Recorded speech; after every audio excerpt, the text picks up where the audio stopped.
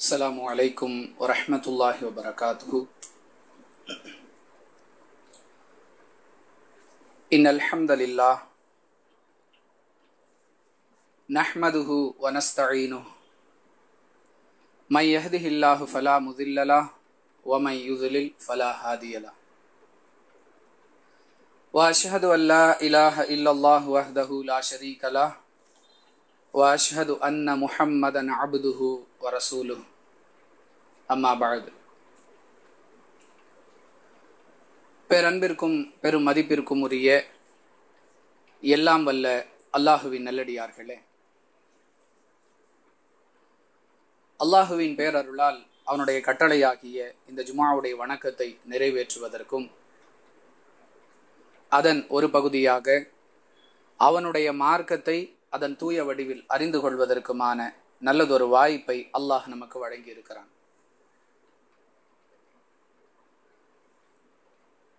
அன்பிற்குரிய சகோதர சகோதரிகளே ஒவ்வொரு மனிதனும் மிக பெரிய அளவில் வைத்து மதிக்கக்கூடிய ஓர் அம்சம் இருக்கிறது என்று சொன்னால் அவனுடைய உயிர். வேறு வேறு விஷயங்களுக்கு பாதிப்பு ஏற்படும் பொழுது அதை பெரிதாக எடுத்துக்கொள்ளாத மனிதன் தன்னுடைய உயிருக்கு ஏதேனும் பாதிப்பு ஏற்படுவது போன்ற அடையாளங்கள் ஏற்பட்டுவிட்டால் அதை அவனால் பொறுத்து கொள்ள முடிவதில்லை. அதை சரி செய்வதற்காக எத்துணை பெரிய முயற்சிகளை வேண்டுமானாலும் அவன் எடுப்பதற்கு தயாராக இருக்கிறான். உடலில் ஒரு நோய் ஏற்பட்டு விட்டது ஒரு காயம் ஏற்பட்டு விட்டது அல்லது ஒரு விபத்தில் பாதிப்பு ஏற்பட்டு விட்டது என்று சொன்னால் முதலில் அவன் மருத்துவரிடம் கேட்பது உயிருக்கு ஒன்றும் ஆபத்தில்லையே. உயிருக்கு ஆபத்தான கட்டத்தை கடந்து விட்டார் என்று சொன்னால் நிம்மதி பெருமூச்சு விடக்கூடிய மனோநிலை. மாறாக உயிருக்கு ஆபத்து என்று சொன்னால் எத்தனை பெரிய செலவுகள் எத்தனை பெரிய சிரமங்களை மேற்கொண்டாவது உயிரை பாதுகாக்க வேண்டும். அந்த அளவிற்கு அவன் மருத்துவத்திற்காக செலவிட தயாராக இருக்கிறான். அன்பானவர்களே மனிதர்களுடைய இந்த பலகீனத்தை புரிந்து கொண்ட மருத்துவமனை நிர்வாகமும் மருத்துவர்களும் எந்த அளவிற்கு மக்களை ஏமாற்ற முடியுமோ அவர்களை சுரண்டி பிழைக்க முடியுமோ அந்த அளவிற்கு மக்களை ஏமாற்றுகிறார்கள் மக்களுடைய இந்த பலகீனத்தின் காரணமாக. அதிலும் ஒரு படி மேலே போய் பலர் வெறும் கட்டணம் மட்டும் கன்சல்டிங் ஃபீஸ் என்று சொல்லக்கூடிய மருத்துவருக்கான கட்டணம் மட்டுமே மூவாயிரம் ரூபாய் வரை வாங்கக்கூடிய மருத்துவர்களை எல்லாம் நாம் கேள்விப்படுகிறோம். அதை விட அதிகமாக கூட இருக்கலாம். நமக்கு தெரிந்தவரை. இந்த மருந்து இந்த மாத்திரையை நீங்கள் எடுத்துக்கொள்ளுங்கள் தினமும் இத்தனை வேளை எடுத்துக்கொள்ளுங்கள் என்று இரண்டரை மூன்றரை வரி எழுதி கொடுக்கிறார். அந்த பிரிஸ்கிரிப்ஷன் அவ்வளவுதான். அதற்காக மூவாயிரம் ரூபாய் வரையெல்லாம் கட்டணம் வசூலிக்கக்கூடிய அளவிற்கு மருத்துவம் மிகப்பெரிய லாபகரமான மக்களை ஏமாற்றக்கூடிய ஒரு துறையாக மாறிவிட்டது என்று சொன்னால் எல்லா மருத்துவர்களும் இல்லை பெரும்பாலானவர்கள் நிலை. அன்பானவர்களே இதிலும் ஒரு படி மேலே போய் மருத்துவத்தோடு மார்க்கத்தை இணைத்து நபி வழி மருத்துவம் இஸ்லாமிய மருத்துவம் குர்ஆன் கூறும் மருத்துவம் மாமரை கூறும் மருத்துவம் என்றெல்லாம் இஸ்லாத்தோடு மருத்துவத்தை இணைத்து இப்படி நாம் அடையாளப்படுத்தினால் முஸ்லிம்கள் நம்மிடத்திலேயே வருவார்கள்.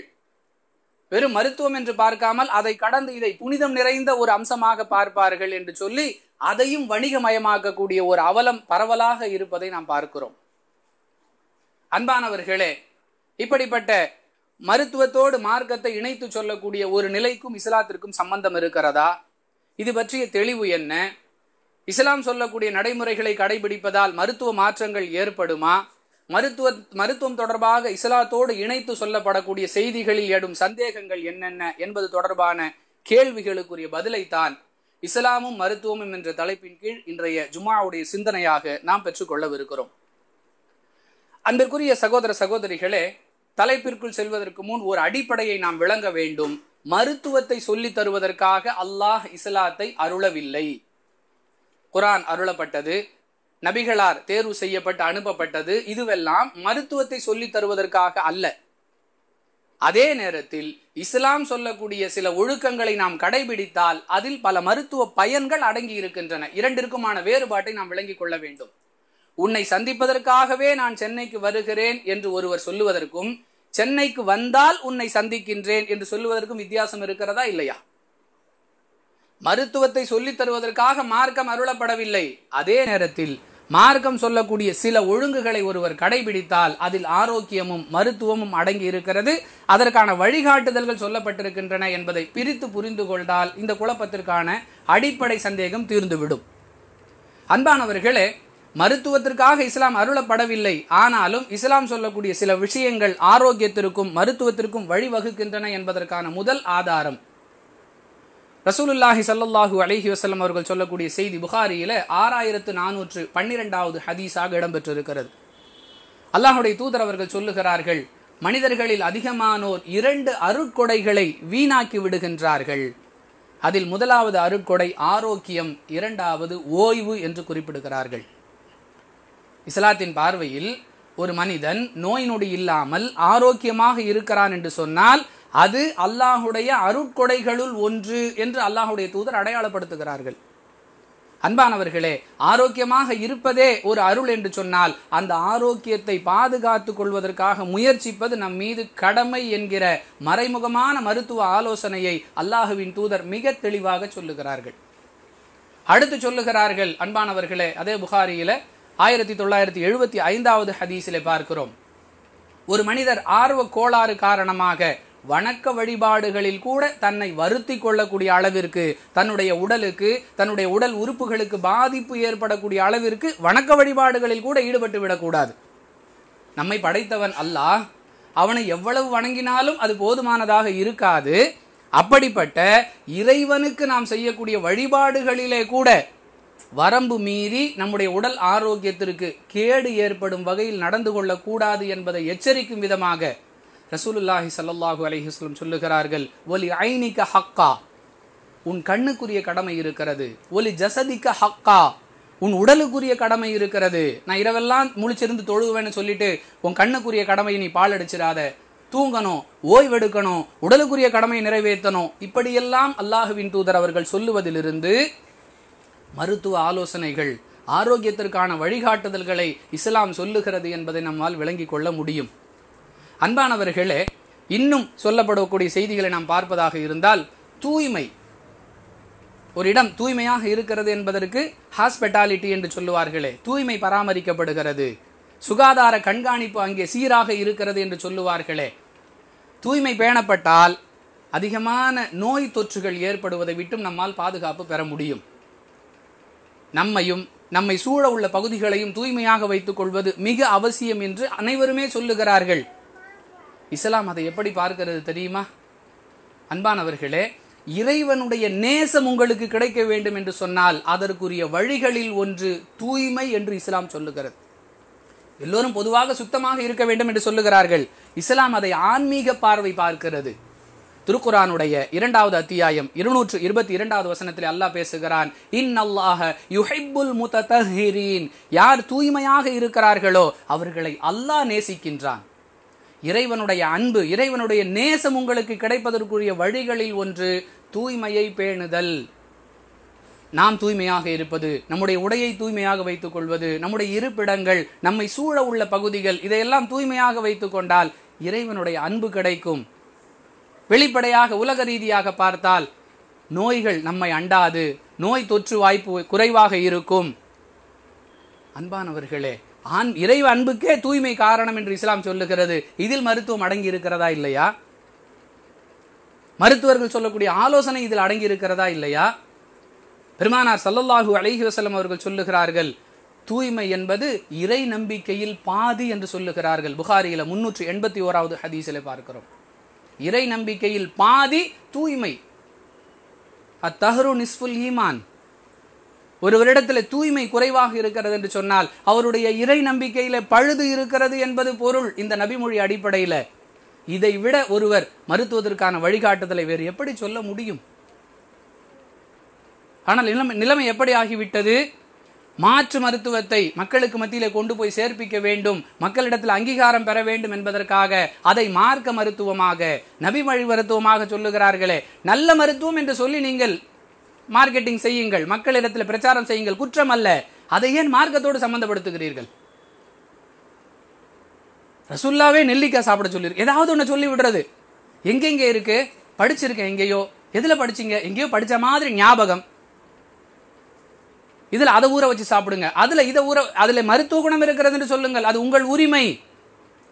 அதை மார்க்கத்தோடு சம்பந்தப்படுத்திடாதீங்க. எதையெல்லாம் மார்க்கம் சொல்லுகிறதோ அதை மார்க்கம் என்று சொல்லுங்கள். தூய்மையாக இருக்க வேண்டும். மார்க்கம் சொல்லுகிறது. உடல் ஆரோக்கியத்தை பேண வேண்டும். மார்க்கம் சொல்லுகிறது. உடலுக்குரிய கடமையை நிறைவேற்ற வேண்டும். மார்க்கம் சொல்லுகிறது. இதையெல்லாம் மார்க்கத்தோடு சேர்த்து சொல்லுங்கள். உங்களுடைய மார்க்கெட்டிங்குக்காக வசதிக்காக மார்க்கத்தை நீங்கள் பயன்படுத்தாதீர்கள். இதைத்தான் இது போன்ற மருத்துவர்களுக்கு நாம் ஆலோசனை சொல்லுகிறோம். அன்பானவர்களே பல் துலக்குதல். இது எல்லோருக்குமே தெரியும். எல்லோருமே செய்ய வேண்டும் என்று சொல்லுகிறோம் செய்கிறோம். தூய்மைக்கு வழிவகுக்கிறது என்றெல்லாம் சொல்லுகிறோம். ஆனால் இஸ்லாம் இதை எப்படி பார்க்கிறது? நசை ஐந்தாவது ஹதீஸ். பெருமானார் சல்லல்லாஹு அலஹி வஸல்லம் அவர்கள் சொல்லக்கூடிய செய்தியை பார்க்கிறோம். பல் துலக்கிக் கொள்ளுங்கள். அது வாயை சுத்தப்படுத்துகிறது அல்லாஹுடைய திருப்தியை பெறுவதற்கு காரணமாக இருக்கிறது. நாம் எதிர்பார்க்கக்கூடிய உலக பயன் என்று சொன்னால் வாய் தூய்மை அடைந்து விடும் அதற்கும் மேலாக இறை திருப்திக்கு காரணமாகிவிடும். சுத்தமாக இருந்தால் புகாரியில் எண்ணூற்று எண்பத்தி எட்டாவது ஹதீஸில் பார்க்கிறோம். அல்லாஹுடைய தூதர் சொல்கிறாங்க உங்களை பல் துலக்கும்படி நான் அதிகமாக வலியுறுத்துகிறேன். பல் துலக்கிக் கொள்ளுங்கள். இப்படி பொத்தம்பதுவாக சொல்லி இருக்கலாம். அதை கடந்து தூய்மைக்கும் தூய்மையோடு தொடர்புடைய ஆரோக்கியத்திற்கும் ஆரோக்கியத்திற்கு அவசியமான மருத்துவ வழிகாட்டுதலாகவும் இந்த செய்தியை சொல்லுகிறார்கள். பல் துலக்கும்படி உங்களை நான் மீண்டும் மீண்டும் மீண்டும் எச்சரிக்கிறேன். வலியுறுத்தி சொல்றேன். பல் துலக்கிக் கொள்ளுங்க. வாயை தூய்மையாக வைத்துக் கொள்ளுங்கள். அன்பானவர்களே சில மருத்துவர்கள் எல்லாம் சொல்லுவார்கள் நோய்களின் பிறப்பிடம் வாய் என்று சொல்லுவார்கள். ஒரு ஆலோசனை குறிப்பு. அது நூறு சதவீதம் உண்மை. அப்படியெல்லாம் அல்ல. வேறு வேறு தொற்றுகளால் கூட நோய் வருகிறது. புரிந்து கொள்ளும் விதமாக சொல்லுவார்கள். வாய் க- உணவு கட்டுப்பாடு வாய் தூய்மை இதையெல்லாம் இணைத்து சொல்லும் விதமாக அப்படி சொல்லுவார்கள். மார்க்கம் சொல்லுகிறது. வாய் தூய்மையாக இருக்கிறது. அல்லாஹுடைய அன்பு அல்லாஹுடைய திருப்திக்கு காரணமாக அமைகிறது. அதனால் உங்களை நான் பல் துலக்கும்படி வலியுறுத்தி சொல்லுகிறேன் என்று அல்லாஹுடைய தூதர் சொல்கிறாங்க இதையெல்லாம் கடைபிடித்தால் ஆரோக்கியம் அதை ஒட்டிய மருத்துவ நிகழ்வுகள் இருக்கிறதா இல்லையா? இதை இஸ்லாத்தோடு சம்பந்தப்பட்ட விஷயங்களாக சொல்லலாம். அன்பானவர்களே நாம் அன்றாடம் செய்யக்கூடிய செய்ய முடிந்த விஷயங்கள் இதை சரியாக கடைபிடித்தால் மார்க்கத்துடன் கூடிய ஆரோக்கியமான மருத்துவ வழிகாட்டுதல்களை நாம் நடைமுறைப்படுத்துகிறோம் என்பது பொருள். இன்னும் சொல்லுகிறார்கள் பெருமானார் சல்லல்லாஹூ அலஹி வசல்லம் நீங்கள் பருகக்கூடிய பானம் அதில் ஈ விழுந்து விட்டது. அல்லாஹுடைய தூதர் அவர்கள் சொல்லுகிறார்கள் அதை பார்த்தவுடன் நம்ம என்ன செஞ்சிருவோம்? எடுத்து போட்டுருவோம். அல்லாஹுடைய தூதர் அவர்கள் சொல்லுகிறார்கள் அதை நன்றாக அந்த பானத்திற்குள் அழுத்தி பிறகு எடுத்து வெளியே போட்டுருங்க. ஏனென்றால் அல்லாஹ் அதனுடைய ஒரு இறக்கையில் நோயையும் மற்றொரு இறக்கையில் நிவாரணத்தையும் வைத்திருக்கிறான். எப்படிப்பட்ட மருத்துவ குறிப்பு? இதை ம- இஸ்லாத்தோடு சம்பந்தப்பட்ட மருத்துவ குறிப்பாக ஆரோக்கிய குறிப்பாக சொல்லலாம். குற்றம் இல்லை நடைமுறைப்படுத்தினால் நன்மை சந்தேகம் இல்லை அல்லாஹுடைய தூதர் அவர்கள் வகி அடிப்படையில் இதையெல்லாம் நமக்கு சொல்லித் தருகிறார்கள். நிச்சயமாக இதில் பயன் இருக்கும். அன்பிற்குரியவர்களே மிக எளிமையான விஷயங்கள். இதற்காக பெரிய சிரமங்களை மேற்கொள்ள வேண்டிய தேவையில்லை. நடைமுறைப்படுத்தினால் பல நன்மைகள் விளையும். ஆனால் சர்வசாதாரணமாக மக்கள் புறக்கணித்துக் கொண்டிருக்கிறார்கள். அது வேறு. அடுத்து பாருங்கள். ஒவ்வொருவரும் வியந்து பார்க்கக்கூடிய நடைமுறைப்படுத்தினால் மிகப்பெரிய நன்மைகளை பெற்றுத்தரக்கூடிய விஷயங்களை இறைவன் சொல்லித் தருகிறான். ஃபித்ரத் என்ற வார்த்தை ஹதீஸிலே பயன்படுத்தப்படுகிறது. அதாவது இயற்கை மரபுகள். அனைத்து நபிமார்களுடைய சுன்னத். அதற்குத்தான் ஃபித்ரத் என்று சொல்லுவார்கள்.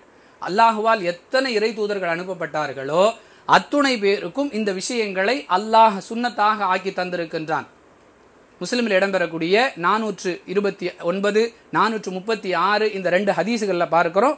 ஏறக்குறைய பதினோரு நிகழ்வுகள் அனைத்து நபிமார்களுக்கும் சுன்னத்தாக ஆக்கப்பட்ட இயற்கை மரபுகள் என்று சொல்லப்படக்கூடிய ஃபித்ரத் என்ற வார்த்தையால் அடையாளப்படுத்தப்படக்கூடிய அம்சங்கள் பதினோரு அம்சங்கள் கிடைக்கின்றன. அதில் தாடி வைத்தல் அப்படிங்கிறத தவிர்த்து மீதி உள்ள பத்து அம்சமுமே மருத்துவ குறிப்புகளாக தூய்மைக்கு வழிவகை செய்யக்கூடியவைகளாக இருப்பதை நாம் பார்க்கிறோம். உலகத்தில் யாரெல்லாம் தூய்மை பேசுகிறார்களோ யாரெல்லாம் மருத்துவம் சொல்லுகிறார்களோ யாரெல்லாம் மனித உடலின் ஆரோக்கியம் குறித்து ஆய்வு செய்கிறார்களோ அத்துணை பேரும் வியந்து பார்க்கக்கூடிய ஆயிரத்து நானூறு ஆண்டுகளுக்கு முன்பு எந்த விதமான விஞ்ஞான வளர்ச்சியோ மருத்துவ வளர்ச்சியோ இல்லாத எழுத படிக்க தெரியாத ஒருவர் இப்படிப்பட்ட அழகிய வழிகாட்டுதல்களை சொல்லுகிறார் என்றால் நிச்சயம் அவர் இறை தூதராகத்தான் இருக்க முடியும் என்று ஒப்புக்கொள்ளக்கூடிய அளவிற்கான குறிப்புகள். அன்பானவர்களே பல் துலக்குதல். அந்த பதினோ பத்து அம்சங்களில் தாடி வளர்த்தல்ங்கிற அந்த சுண்ணத்தை தவிர்த்து பார்த்தோம்னா பல் துலக்குதல் வாய் கொப்பளித்தல் மூக்கிற்கு தண்ணீர் செலுத்தி தூய்மைப்படுத்துதல் மீசையை ஒட்ட கத்தரித்தல். அல்லாஹுடைய தூதர் வகி அடிப்படையில் சொல்லி தந்த மருத்துவ குறிப்புகள் ஆரோக்கிய குறிப்புகள். மீசையை ஒட்ட கத்தரிக்கணும். மூக்கிற்கு தண்ணீர் செலுத்தி தூய்மைப்படுத்த வேண்டும். பல் துலக்கிக் கொள்ள வேண்டும். வாய் கொப்பளித்துக் கொள்ள வேண்டும். அன்பானவர்களே அடுத்து சொல்றாங்க அக்கிள் பகுதியில் உள்ள முடிகளை அகற்றுவது. மறைவிடங்களில் உள்ள முடிகளை களைவது. கழிவறைக்கு சென்று வந்தால் மலஜலம் கழித்து விட்டு வந்தால் அதை துப்புரவு செய்வது. கை கால்களை கழுவும் பொழுது விரல்களுக்கிடையே உள்ள அந்த பகுதிகளை கோதி கழுவுவது. நகங்களை வெட்டுவது. விருத்த சேதனம் என்று சொல்லப்படக்கூடிய ஹத்தனா சுண்ண செய்கிறதுன்னு சொல்றோம்ல இதை செய்வது. இதுவெல்லாம் இயற்கை மரபுகள். அனைத்து நபிமார்களுக்கும் அல்லாஹுவால் சொல்லித்தரப்பட்ட வழிமுறைகள் என்று சொல்லுகிறார்கள். இவை அனைத்துமே தூய்மையோடு சம்பந்தப்பட்ட மனித உடலுக்கு ஆரோக்கியத்தை ஏற்படுத்தக்கூடிய மகத்தான மருத்துவ குறிப்புகள். இதையெல்லாம் இஸ்லாத்தோடு சம்பந்தப்பட்ட மருத்துவ விஷயங்களாக சொல்லுங்கள். நடைமுறைப்படுத்த முயற்சி செய்யுங்கள் மக்களுக்கு மத்தியில் கொண்டு போய் சேர்ப்பியுங்கள். இதுவெல்லாம் வரவேற்கத்தக்க அம்சங்கள். அதை விட்டு விட்டு எதை எதையெல்லாமோ மாணவி வழி மருத்துவம். எந்த அளவிற்கு என்று சொன்னால் உங்கள் கண்களில் கேட்ராக்ட் பிரச்சனை ஏற்பட்டு விட்டதா கண்ணில் புரை வளர்ந்து விட்டதா அதற்கு இந்த துவாவை ஓதுங்கள். அல்லாஹுடைய தூதர் சொல்லி தந்தார்களா? நீண்ட நாட்களாக குழந்தை இல்லையா? கருத்தரிக்க வேண்டுமா? கருத்தரிப்பதற்கென்று ஓத வேண்டிய துவா. சர்க்கரை நோயாளிகள் ஓத வேண்டிய துவா. அன்பானவர்களே பாமரர்கள் என்ன விளங்குவார்கள்? ஓ அல்லாவுடைய தூதர் காலத்திலே சுகர் இருந்திருக்கு போல. அதனால தான் இந்த துவா ரசூல்லா சொல்லி தந்திருக்கிறாங்களோ? ரசூல்லா காலத்திலே கார்னியா பிரச்சனை கேட்ராக்ட் பிரச்சனை இருந்திருக்கும் போல. அதனால தான் ரசூல்லா இந்த துவாவை சொல்லி தந்திருப்பார்களோ? அல்லாஹிடத்தில் பிரார்த்தனை செய்யுங்கள் என்று பொதுவாக சொல்வது குற்றம் அல்ல ஒவ்வொரு விஷயத்தோடு இன்னொன்றை சம்பந்தப்படுத்தி அதற்கு மார்க்க சாயம் பூசி மார்க்கத்தோடு மருத்துவம் சேர்ந்ததாக அப்படி சொல்லுவது தவறு. பெரிய புத்தகம். மாநபி வழி கூறும் இயற்கை மருத்துவம். அதில் ஏராளமான பட்டியல். இது ஏற்பட்ட தோல் நோய் ஏற்பட்டால் ஓத வேண்டிய துவா. கண்ணிலே புரை வளர்ந்தால் ஏற்பட வேண்டிய துவா. காதில் சீல் வடிந்தால் ஓத வேண்டிய துவா. இதை சொல்லி தரவா அல்லாஹுடைய தூதர் வந்தார்கள். அல்லாஹுடைய தூதர் சொன்னதில் சிலவற்றை நடைமுறைப்படுத்தும் பொழுது மருத்துவ பயன்கள் ஏற்படும். வெவ்வே பிரித்து புரிந்து கொள்ள வேண்டும். அன்பானவர்களே அல்லாஹுடைய தூதர் சொல்றாங்க பாருங்க. சாபத்திற்குரிய விஷயங்களை தவிர்ந்து கொள்ளுங்கள். அல்லாவுடைய தூதரே சாபத்திற்குரிய விஷயமா? அது என்ன? நபித்தோழர்கள் கேட்குறாங்க. மக்கள் பாதையாக பயன்படுத்தக்கூடிய இடங்களிலும் மக்கள் நிழலுக்காக ஒதுக்கக்கூடிய இடங்களிலும் மலஜலம் கழித்து அசுத்தம் செய்யக்கூடிய அந்த காரியத்தை அதாவது அந்த காரியத்தை செஞ்சீங்கன்னா உங்களுக்கு அல்லாவுடைய சாபம் ஏற்படும். அதை தவிர்ந்து கொள்ளுங்கள். எத்தனை பெரிய ஆரோக்கியத்திற்கு வழிவகுக்கக்கூடிய மருத்துவ குறிப்பு? மலஜலம் கழித்தல் என்று சொன்னால் அது ஒரு தனியான பகுதியில் யாருக்கும் இடையூறு ஏற்படாமல் அது காற்றிலே பரவி அதன் மூலமாக நோய் தொற்று ஏற்படாமல் இந்த ஒழுக்கங்கள் எல்லாம் பேணப்பட்டு கழிவறைகள் அமைக்கப்பட்டிருக்க வேண்டும். இன்னைக்கு சொல்றாங்க மத்திய அரசு சார்பா கழிவறையே கழிவறை இல்லாத கிராமமே இருக்கக்கூடாது. அதுக்காக அரசாங்கம் மத்திய அரசு நிதி உதவி செய்யுது. அதுல என்னென்ன தில்லுமுள்ளுகள் நடக்குது எத்தனை ஏமாற்றங்கள் அது தனி. இன்று இவர்கள் யோசிக்கின்ற இதை ஆயிரத்தி நானூறு ஆண்டுகளுக்கு முன்பாகவே நீங்கள் செய்தால் உங்கள் மீது இறை சாபம் ஏற்படும் என்று எச்சரிக்கை செய்து மிகப்பெரிய சுகாதாரம் பொதுவெளியிலே கழிப்பிடங்களை அமைத்துக் கொள்வது கூடாது என்பதற்கான ஒரு எச்சரிக்கை நடவடிக்கையை அல்லாஹ் தன்னுடைய தூதர் மூலம் செய்து இதை நடைமுறைப்படுத்தினால் ஆரோக்கியம் மருத்துவ குறிப்பு என்று நமக்கு பாடம் நடத்துகின்றான். தாய்ப்பால். அன்பானவர்களே பல வகைகளில் மருத்துவர்கள் பேசுகிறார்கள். வரவேற்கிறோம். எத்தனை எத்தனை செய்திகள்? சில ஆண்டுகளுக்கு முன்பாக சென்னை உயர்நீதிமன்றம் சொன்னது ஐக்கிய அரபு நாடுகள் அரபு அமீரகங்களிலே உள்ளது போன்று தாய்ப்பால் கொடுப்பதை கட்டாயமாக்க வேண்டும் என்று ஒரு சட்டம் இயற்றினால் என்ன? சென்னை உயர்நீதிமன்றம் அரசாங்கத்திற்கு பரிந்துரை செய்து ஆலோசனை வழங்கியது. யூனிசெஃப் என்று சொல்லப்படக்கூடிய சர்வதேச அதாவது யுனைடெட் நேஷன் உலகளாவிய குழந்தைகளுக்கான நிதியம். தாய்ப்பாலை விட குழந்தைகளுக்கு அதிக நோய் எதிர்ப்பு சக்தியை தரக்கூடிய எந்த தடுப்பூசியும் இதுவரை கண்டுபிடிக்கப்படவில்லை. யூனிசெஃப் உடைய அறிக்கை. குழந்தைகளுக்கு தாய்ப்பால் மூலம் கிடைக்கக்கூடிய நோய் எதிர்ப்பு சக்தியை விட அதிக நோய் எதிர்ப்பு சக்தி தரக்கூடிய எந்த தடுப்பூசியும் இதுவரை இல்லையே. நோய் தடுப்பூசி என்று பலவற்றை கண்டுபிடிக்கிறார்கள். அதையெல்லாம் மிஞ்சிற அளவிற்கு நோய்களை விட்டும் குழந்தைகளை பாதுகாக்கக்கூடிய திறன் கொண்டது தாய்ப்பால். இப்படி யூனிசெஃப் சொல்லுகிறது. பல ஆய்வுகள் தாய்ப்பால் முறையாக குழந்தைகளுக்கு உரிய காலங்களில் புகட்டப்படுமேயானால் புற்றுநோயை ஏற்படுத்தக்கூடிய நாற்பது வகையான புற்றுநோய்களை ஏற்படுத்தக்கூடிய செல்களை அழிக்கும் திறன் கொண்டது தாய்ப்பால். அந்த அளவிற்கு அது நோய் எதிர்ப்பு சக்தி கொண்டது. இது ஆய்வுகள் மூலம் நிரூபிக்கப்படக்கூடிய அறிக்கை. பெருமானார் சல்லல்லாஹு அலஹி வசலம் அவர்கள் மூலமாக நமக்கு வழங்கிய மார்க்கத்தில் அல்லாஹ் சொல்லுகிறான். திருக்குறானுடைய இரண்டாவது அத்தியாயம் இருநூற்று முப்பத்தி மூன்றாவது வசனம் பேசுகிறது. வல் வாலிதாத்து இருளிஉன அவுலாதஹுன்ன ஹவுலைனி காமிலைனி. தாய்ப்பால் ஊட்டக்கூடிய தாய்மார்கள் தங்கள் குழந்தைகளுக்கு இரண்டு ஆண்டுகள் முழுமையாக தாய்ப்பாலை ஊட்டணும். அது வரைக்கும் அந்த குழந்தைங்க ஒரு தேவை நோய் எதிர்ப்பு சக்தியில் தேவை உள்ளவர்களாக இருக்கிறாங்க. அதுக்கு வரைக்கும் நீங்கள் இந்த உரிய மருத்துவத்தை தாய்ப்பால் மூலம் கொடுத்து விட்டால் திடமானவர்களாக வளருவார்கள். அன்பானவர்களே இது தொடர்பான விழிப்புணர்வு எல்லாம் ஏற்படுத்தப்பட்டால் அது இஸ்லாமிய மருத்துவமாக இருக்கும். இன்னும் சிலர் நோய் வந்தா இப்ப அல்லாட்ட கேட்டுருவோம். இஸ்லாம் இறைவனிடமும் கேட்க சொல்லுகிறது மருத்துவமும் செய்ய சொல்லுகிறது. அப்படியே கண்மூடித்தனமாக இருக்க சொல்லல. திருமீதியில் வரக்கூடிய தொள்ளாயிரத்தி அறுபத்தி ஓராவது ஹதீஸில் பார்க்கிறோம். ததா உன் பெருமானார் சல்லல்லா அலிசன் சொல்றாங்க வைத்தியம் செய்து கொள்ளுங்கள். நோய் வந்துச்சா? உரிய முறையில் வைத்தியம் செய்ய வேண்டும். இன்னும் சிலர் மருந்தில்லா மருத்துவம். மருந்து இருந்தால் தானே அது பேர் மருத்துவம். அறிவுக்கு பொருந்துகிறதா? மருந்தில்லா மருத்துவம். கேட்ட உணவே மருந்து. உணவே மருந்து என்பது நிஜமாக இருந்தால் அல்லாஹுடைய தீ- தூதர் ஏன் மருத்துவம் செய்து கொள்ளுங்கள் என்று சொல்ல வேண்டும்? அது தவறான வாதம் உணவே மருந்து என்று சொல்லுவதோ மருந்தில்லா மருத்துவம் என்று சொல்லுவதோ அடிப்படையான நிலைக்கு எதிரான கருத்து தவறான கருத்து என்பதற்கு இந்த ஹதீஸ் ஆதாரம் நீங்கள் வைத்தியம் செய்து கொள்ளுங்கள். இன்னும் புகாரில் வரக்கூடிய ஐயாயிரத்தி அறுநூத்தி எழுபத்தி எட்டாவது செய்தியில பார்க்கிறோம். அல்லாஹுடைய தூத சொல்றாங்க ததா உன் ஒலி குல்லி தா இன் தவா உன் மருத்துவம் செய்து கொள்ளுங்கள். எல்லா நோய்களுக்கும் மருந்து இருக்கிறது. எந்த நோயையும் அதற்குரிய மருந்தில்லாமல் அல்லாஹ் இறக்கவில்லை. ஒரு நோயை படைக்கிறதுக்கு முன்னாடியே அதற்குரிய மருந்தையும் அல்லாஹ் படைத்து விட்டான். இப்படியெல்லாம் பெருமானா சல்லா அலைஹி பேசுகிறார்கள்.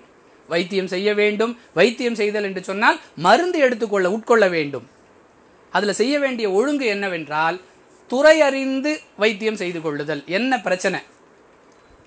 அதுக்குரிய மருத்துவர் யார்? இப்படி துறையை கண்டறிந்து மருத்துவம் செய்வது சரியான முறை. மருத்துவத்தை எடுத்துக்கொண்டோம் என்று சொன்னால் பொது மருத்துவம் சிறப்பு மருத்துவம் பன்னோக்கு சிறப்பு மருத்துவம் என்று வகைப்படுத்தி இருக்கிறார்கள். வெறுமன சளி காய்ச்சல் ஜுரம் இது போன்ற விஷயங்கள் பொது மருத்துவரை அணுகலாம்.